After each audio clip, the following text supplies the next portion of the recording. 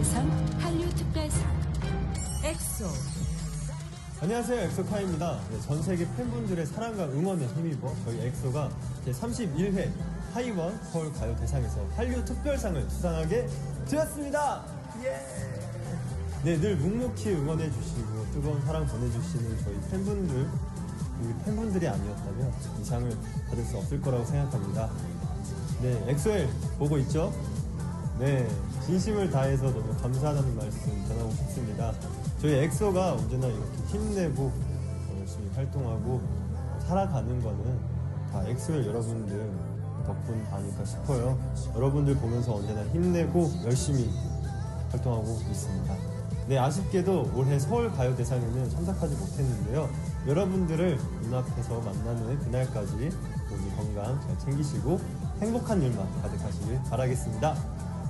앞으로도 여러분께 좋은 음악과 멋진 무대 보답하는 엑소가 되겠습니다. 감사합니다.